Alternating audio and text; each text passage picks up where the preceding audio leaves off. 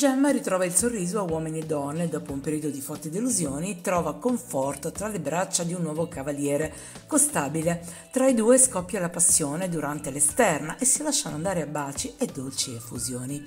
Gemma è felice e fiduciosa rispetto al futuro di questa relazione appena nata, ma l'opinionista Tina non approva e dice a me sinceramente hanno fatto schifo. Due nonni che si baciano, a me ha dato fastidio, commenta. Ma se da un lato Tina è categorica e non vuole dare credito all'ennesima relazione della dama torinese, Gianni Sperti si dice piacevolmente colpito e contento se finalmente la dama più celebre del trono over abbia trovato dopo tanto una persona che ricambia e possa renderla felice. Anche Costabile difende l'incontro e i baci con Gemma. Il sentimento non deve scandalizzare, ci si deve voler bene a tutte le età, dichiara l'uomo, che al momento sembra davvero interessato alla sua dama.